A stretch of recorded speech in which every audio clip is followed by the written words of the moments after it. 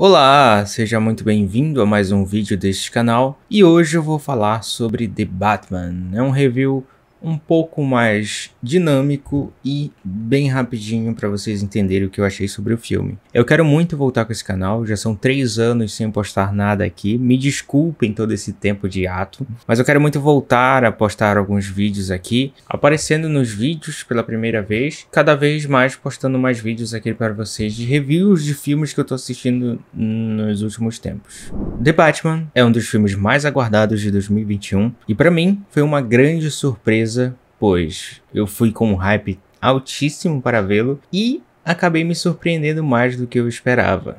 É um grande filme noir que apresenta uma Gotham totalmente viva. Finalmente temos a Gotham City de verdade, aquela Gotham City sombria, cheia de crimes e máfia, comandando toda a cidade. Tudo o que nós vimos nos quadrinhos que assombrava o Batman está nesse filme. Matt Reeves eu já não duvidava muito, porque ele é um cara que trabalha muito bem essa questão de fantasia e realidade. A trilogia do Planeta dos Macacos já dizia muito o quanto ele sabia misturar um pouquinho desses dois fatores que são importantíssimos no filme do Batman.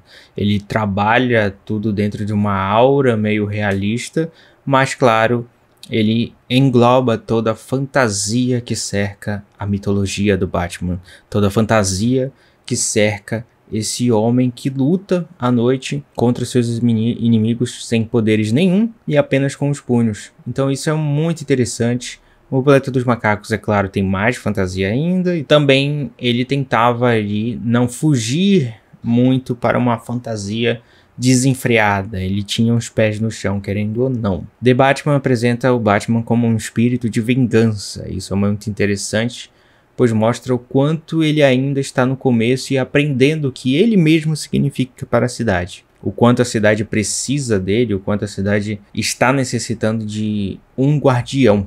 Batman nada mais é do que um guardião. E esse filme traz pra gente uma das características mais fortes e presentes em todas as histórias do Batman, que é a investigação o Batman que investiga não depende muito das pessoas, por si só tem sacadas rápidas e exemplares. Matt Reeves tem ali uma direção precisa para mostrar ali o início desse, dessa trilogia do Homem Morcego que estará nas mãos dele com certeza.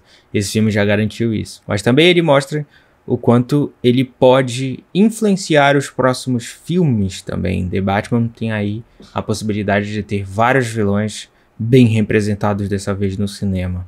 E o Matt Reeves não vai deixar essa oportunidade escapar, disso eu tenho certeza. Robert Pattinson, como sempre, mostra que é um excelente ator, um ator que aprendeu com algumas escolhas erradas e depois disso foi só evoluindo na sua carreira, né? O cara não parou nunca, cara, só escolheu projetos certos. Em todos os projetos, ele está excelente. Zoe Kravitz e o resto do elenco, Paul Dano, né, que transforma aí uma versão de O Assassino do Zodíaco. O filme tem muitas referências, e na verdade mais inspirações do que referências no caso, né? O David Fincher tá aí, um pouco de Scorsese, no início ali de Taxi Driver, aquela ambientação, como, como nosso primeiro contato com Bruce Wayne, narrando sua própria história. Isso para mim é excelente. The Batman eu fecho com nota 10, exatamente. Uma nota máxima para The Batman, pois ele conseguiu reunir todos os elementos do Batman, ainda mais apresentar uma nova versão de vilões, nova versão de aliados, conseguir mesclar tudo isso de uma forma maravilhosa. The Batman de Matt Reeves é um dos filmes que eu mais gostei agora de 2022 e eu tenho certeza que ele vai disputar algumas coisas no Oscar. Disso não temos dúvidas.